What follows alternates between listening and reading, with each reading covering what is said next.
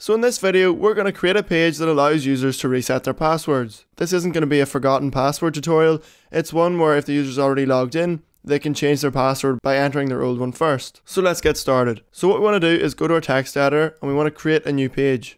And we're going to call our page change password. And we're going to copy what we have on our index page and just paste it on our change password page because we need to have our database class and we need to be able to tell if the user's logged in or not. So if the user's not logged in, we're just going to echo not logged in. But if they are logged in, we're going to actually display the form and allow them to change their password. But rather than echoing not logged in, we're going to say die just to kill the entire page. And then down here, what we'll do is create a simple form.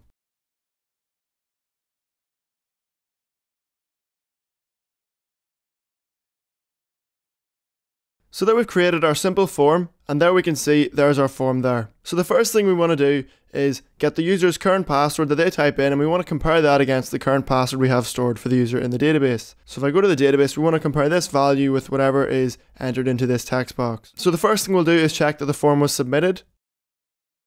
And now that we know the form has been submitted, we're going to check the value in old password with the value that we have stored for the user in the database. But we've already done that on our login page. We already verify what the user enters into the text box with the password we have stored. So we're going to copy and paste this line because it already does what we want. So we need to create the variable password and we should probably rename it to old password. And we need to modify our query because what we're doing is checking where the username is equal to whatever the user entered, but the user doesn't provide us with a username when they're changing their password, but we do have the user ID because it's returned from the is logged in function. So we're going to say where ID equals user ID, and then here we'll say user ID, and we will pass it user ID, and we'll set the user ID variable equal to login is logged in. And that will be the user ID. So now that we've verified the user has put in the correct old password, we can change their password. And then what we're going to say, otherwise, if the password's entered incorrectly, we'll echo incorrect old password. So let's just run this to see does it work. So the password for this account is test pass.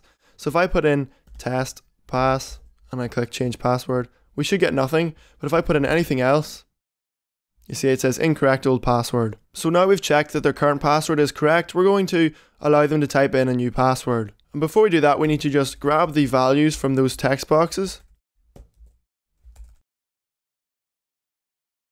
And we want to go to our create account page. And you can see we put in validation for the password to ensure that it's between 6 characters and 60 characters long. So we're going to copy and paste that. But before we use that, the first thing we need to know is does the new password match the password repeat? Because the whole point of having the password entered twice is to make sure that it's correct. So what we can do is check that first. So we're saying does the new password equal the repeated version of it? And if it does, then we can continue changing the user's password. Otherwise, we need to tell them that the passwords don't match. So now that we know the two passwords are the same, we only need to check one of them because our validation only needs to apply to one password because we already know they're the same. So I can apply the validation only to new password and I can forget about new password repeat because I already know they're the same. So I paste that in there. We're checking the length of the new password and the length of the new password again. And so long as it's within the specified length, we should be okay to accept that password because we don't need to worry about SQL injection or anything like that because the user's password is hashed and stored in the database, and we're also using prepared statements, so we never actually store the values the user puts in into the database. So now we should be okay to actually change the user's password. So all we have to do is run a query,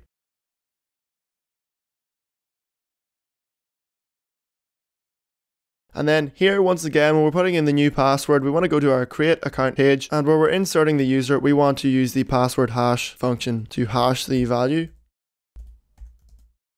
and then we'll just say password changed successfully. So let's just test this. So the old password is test pass and the new password is just going to be password. We're going to click change password. It says password changed successfully. And now I'm going to log out. But before we log out, we can actually just compare the values in the database now. If we go back to here, you can see the password field is equal to this. This is the password before I changed it. But if I refresh this, you can see that's just changed the values completely different. So now if I log out, it says I'm logged out, we're not actually redirecting the user, but if I go back to the table and I go to the login tokens, you can see there isn't any login tokens, so I'm not logged in anymore, and if I was to refresh this, I'm not logged in. And we can actually check our change password page. You can see if I'm not logged in, I also get told that. So what I'm going to do is log in using the old password first. So I've just entered test pass. I'm going to click login. You can see it now says incorrect password. If I try to log in again and I use the new password, which is password, and I click login, it says logged in. And if I go to the index page, we're now logged in. So that's it for this video. Don't forget to like, comment, favorite, and subscribe. In this video, we covered changing the user's password. That's quite different from resetting a user's password, which we'll cover in another video. But that's it for this video. Don't forget to like, comment, favorite, and subscribe. Don't forget to follow us on Facebook and Twitter, and I'll see you next time.